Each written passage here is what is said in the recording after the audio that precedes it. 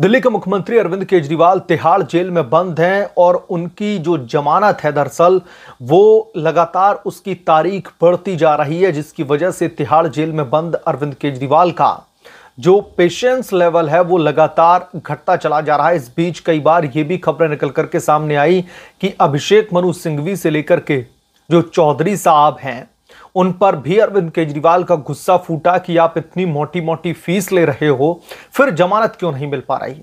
मसलन, अभी कुछ दिन पहले ही सुप्रीम कोर्ट से तगड़ा झटका लगा था। सुप्रीम कोर्ट ने अरविंद केजरीवाल को जमानत देने से सीधे तौर पर इंकार कर दिया था और अब फिर से अरविंद केजरीवाल की जो न्यायिक हिरासत है, दरअसल वो खत्म हो रही थी और उसे लेकर के कोर्ट में सुनवाई हुई और इसके बाद में कोर्ट ने जो आदेश जारी किया है, उसकी वजह से आम आदमी पार्टी में हड़कंप मचा हुआ है। चुनाव सर पर है, अरविंद केजरीवाल की जमानत है कि मंजूर की नहीं जा रही कोर्ट की तरफ़ से। तो अब दिल्ली की राउज एवेन्यू कोर्ट ने अरविंद केजरीवाल की जमानत को लेकर के बड़ा फैसला सुनाया है। कोर्ट में जिरह हुई क्या कुछ दलीलें पेश की गई? सीबीआई के वकील की तरफ़ से क्या कुछ दलीलें पेश की गई? अरविंद केजरीवाल के वकीलों की तरफ़ से इस रिपोर्ट में इसका हम विश्लेषण करेंगे और यह भी जानेंगे कि आखिरकार कोर्ट में क्या जो है बड़ा फैसला सुनाया गया है। इतना ही नहीं, कई लोग मुझे कमेंट करके ये भी कह रहे थे, दरअसल कि इस पूरे केस की जब से दिल्ली का शराब घोटाला जो है निकल कर के सामने आया है। दिल्ली एक्साइज पॉलिसी को इंपोज किया गया था। तब से लेकर के अब तक क्या क्या अपडेट हुआ है, किस तारीख को क्या हुआ था, इसके बारे में भी डिटेल्ड इंफॉर्मेशन चाहिए, वो भी मैं इस रिपोर्ट में लेकर के आया हूँ। इसलिए आपसे गुजारिश है कि चैनल को जो है सब्सक्राइब कर लें और अगर आपको वीडियो पसंद आए तो वीडियो को लाइक ज़रूर करें। अरविंद केजरीवाल की जमानत याचिका पर सुनवाई हुई। आज दिल्ली की राउज एवेन्यू कोर्ट में आज न्यायिक हिरासत खत्म हो रही थी अरविंद केजरीवाल की और अरविंद केजरीवाल को दिल्ली की जो राउज एवेन्यू कोर्ट है, उसमें वीडियो कॉन्फ्रेंसिंग के ज़रिए दरअसल पेश किया गया था। और उसके बाद में आपको बता दें कि जो तमाम दलीलें पेश की गई हैं, उसमें सीबीआई ने सीधे तौर पर अपना जो ओपनिंग स्टेटमेंट है, वो देते हुए कोर्ट में कहा है कि उन्होंने शराब नीति मामले में अरविंद केजरीवाल और आम आदमी पार्टी के विधायक दुर्गेश पाठक पर केस चलाने की उन्हें मंजूरी मिल चुकी है और सीबीआई ने अरविंद केजरीवाल के खिलाफ में सप्लीमेंट्री चार्जशीट भी दाखिल कर दी है। अरविंद केजरीवाल के वकील की तरफ़ से जो ओपनिंग स्टेटमेंट आया वो यही था कि ये गिरफ्तारी पूरी तरीके से अवैध है, इलीगल तरीके से गिरफ़्तार किया गया है। तो और सीबीआई की तरफ़ से यह कहा गया कि हमें ऑलरेडी इनके खिलाफ में मुकदमा चलाने की कोर्ट से मंजूरी मिल चुकी है और हमने इनके खिलाफ में सप्लीमेंट्री चार्जशीट भी दाखिल की है। आपको बता दें कि 20 अगस्त को, पिछली 20 अगस्त को सुनवाई हुई थी इस मामले में, जहाँ पर जो है कोर्ट ने फैसला सुनाया था उन्हें 20 अगस्त तक के लिए दरअसल सात दिनों की माफ़ी चाहूँगा, न्यायिक हिरासत में भेजा गया था और आज 27 तारीख है। आज उनकी न्यायिक हिरासत खत्म हो रही थी। इसी वजह से आज कोर्ट में दरअसल सुनवाई हुई है।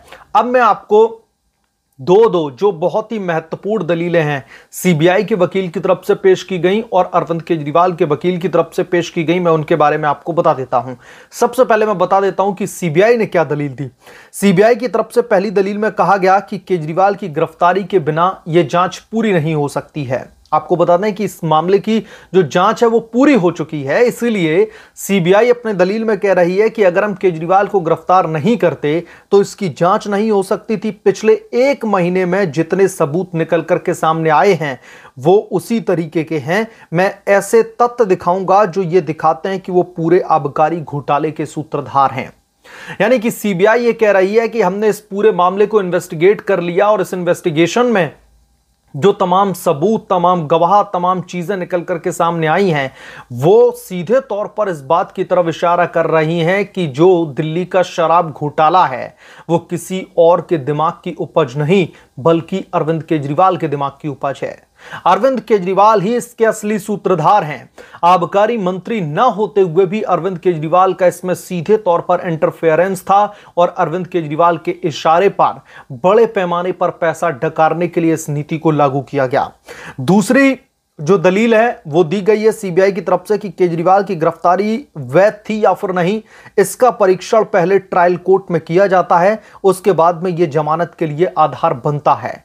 तो पहले ट्रायल कोर्ट में जाकर के इस बात का ज़िक्र करना चाहिए था कि अरविंद केजरीवाल की गिरफ्तारी इलीगल है और अब लोअर कोर्ट से लेकर के सुप्रीम कोर्ट तक और दिल्ली के हाई कोर्ट ने भी सीधे तौर पर अपने फैसले में कहा है कि अरविंद केजरीवाल की गिरफ्तारी पूरे कानूनी दायरे में रह करके की गई है। पूरा लॉ का जो प्रोसीजर है उसको फॉलो करके ली गई इसलिए अगर अरविंद केजरीवाल के वकील ये बार बार दावा कर रहे हैं कि केजरीवाल का अरेस्ट दरअसल इलीगल अरेस्ट है तो ये पूरी तरीके से गलत है। अच्छा जैसे ही सीबीआई की तरफ़ से ये दलीलें पेश की जाती है काउंटर में आते हैं अरविंद केजरीवाल के वकील। अरविंद केजरीवाल के वकीलों की भी मैं आपको दो इंपॉर्टेंट दलीलें बता देता हूँ। उनकी तरफ़ से कहा गया कि यह कुछ और नहीं बल्कि एक इंश्योरेंस अरेस्ट है इंश्योरेंस गिरफ्तारी है। आ, जब आप चाहते हैं गिरफ़्तार कर लेते हैं जून में सीबीआई के गिरफ़्तार किए जाने के बाद मुझसे कोई भी इंटेरोगेशन नहीं की गई। अरविंद केजरीवाल के वकील कह रहे हैं कि जज साहब, पहली तो ये इंश्योरेंस अरेस्ट है, सिर्फ़ इस बात को लेकर के गिरफ्तारी की गई है क्योंकि ईडी के केस में इन्हें जमानत मिल गई है, जेल से बाहर ना आ जाए, इसलिए सीबीआई ने गिरफ़्तार कर लिया। और इसके बाद में, जो एक बात कही गई है, वो थोड़ी सी दोस्तों चौंकाने वाली है। मैं आपकी यहाँ पर थोड़ी सी अटेंशन भी चाहूँगा, क्योंकि अरविंद केजरीवाल के ये वकील कह रहे हैं कि जब से सीबीआई ने उन्हें गिरफ़्तार किया है उनसे दरअसल किसी भी तरीके की इंटेरोगेशन ही नहीं की गई। तो क्या पिकनिक मनाने के लिए पहुँचे हैं? वहाँ पर अरविंद केजरीवाल। इधर सीबीआई दलीलें दे रही है। सुप्रीम कोर्ट में पिछली दलीलों के दौरान जब सुप्रीम कोर्ट ने केजरीवाल के खिलाफ में फैसला सुनाया तो वहाँ पर खुद सीबीआई कह रही है कि अरविंद केजरीवाल जाँच में सहयोग नहीं कर रहे हैं। जब भी उनसे इंटेरोगेशन की जाती है, सवालों के जवाब नहीं देते। सेटिस्फाइड हो सके सीबीआई इस तरीके के जवाब नहीं दिए जा रहे हैं। सब कुछ टोल मटोल जो है कहीं ना कहीं आ, किया जा रहा है इस पूरे के पूरे मामले में। और इधर अरविंद केजरीवाल के वकील कह रहे हैं कि जब से सीबीआई ने गिरफ्तारी की है उनसे इंटेरोगेशन ही नहीं हुई। आप लोग समझिए कि सीधे तौर पर सुप्रीम कोर्ट में ये जो स्टेटमेंट दिया जा रहा है कि जून में सीबीआई के गिरफ़्तार किए जाने के बाद से मुझसे कोई भी पूछताछ नहीं हुई तो सीबीआई वहाँ पर क्या आरती उतारने के लिए केजरीवाल को रखे हुए है? तो ये जो दलील है, ये वाकई में मुझे लगता है कि बहुत ही ज़्यादा चौंकाने वाली है। और दूसरी दलील जो है, उनकी तरफ़ से कहा गया कि आपने ऐसा कोई मामला देखा है कि साल 2023 में सीबीआई मुझे बुलाती है, लेकिन मुझे समन नहीं भेजती और उसके बाद में जून 2024 में मुझे गिरफ़्तार कर लिया जाता है।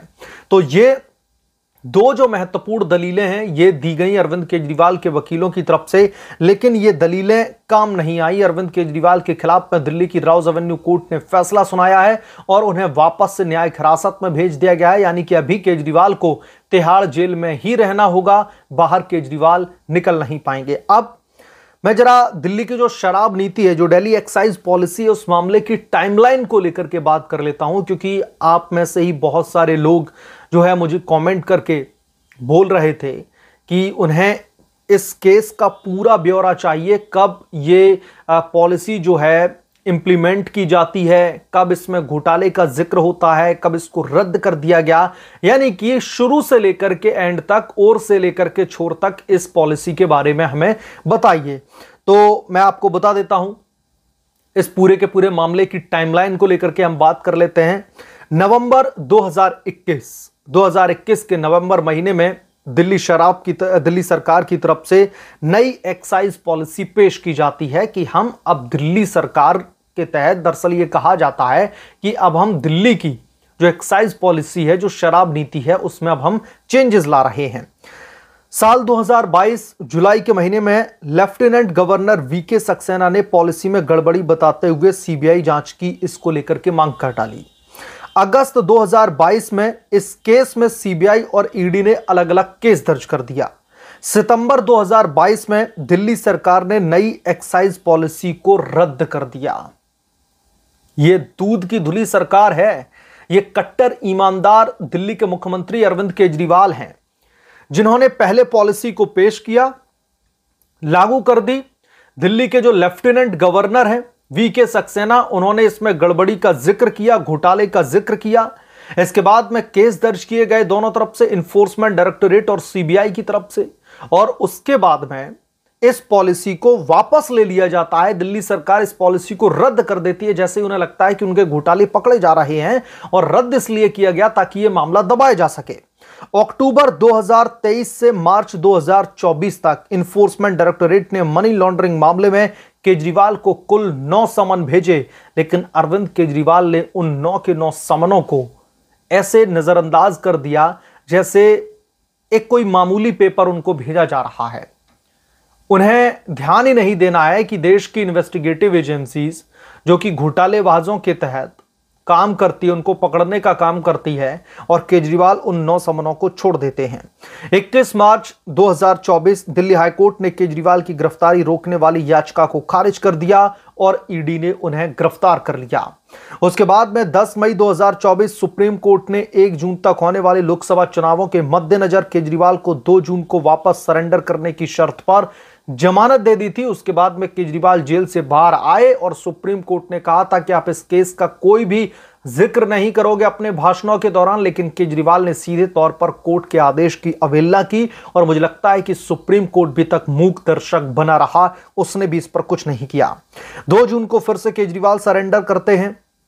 20 जून 2024 राउज एवेन्यू को राउज एवेन्यू के ट्रायल कोर्ट ने केजरीवाल को जमानत दे दी थी। उसके बाद में 21 जून 2024 को ईडी ने ट्रायल कोर्ट के फैसले के खिलाफ में दिल्ली हाई कोर्ट में याचिका दायर कर दी। आपको मैं बता दूँ कि जो ट्रायल कोर्ट था, जिस पर जस्टिस बिंदु की तरफ़ से इस पर सुनवाई की गई थी और बिना किसी फ़ाइल को देखे हुए, बिना किसी पेपर्स को देखे हुए, इस पर दरअसल फैसला सुनाया गया था। 25 जून 2024 हाईकोर्ट ने केजरीवाल की जमानत पर रोक लगा दी और उसी रात सीबीआई ने जेल में अरविंद केजरीवाल से इंटेरोगेशन की। अरविंद केजरीवाल कह रहे हैं कि उनसे कोई इंटेरोगेशन ही नहीं की गई।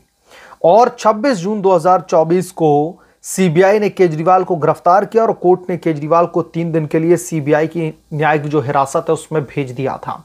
तो अब एक बार फिर से अरविंद केजरीवाल को ग्यारह हज़ार वोल्ट का झटका लगा है और आम आदमी पार्टी में हड़कंप मचा हुआ है कोर्ट के इस फैसले को लेकर के इस पर आपकी क्या राय है, हमें कमेंट करके ज़रूर बताएँ। जल्द मिलूँगा किस दूसरे बड़े अपडेट के साथ में, तब तक के लिए धन्यवाद। अगर आप लोग चैनल पर नए हैं तो प्लीज़ चैनल को सब्सक्राइब करें, साइड बने बेलाइकन को भी प्रेस कर लें, ताकि जैसे ही मैं कोई नया अपडेट लेकर के हूँ तो उसकी जानकारी सबसे पहले आपको मिले।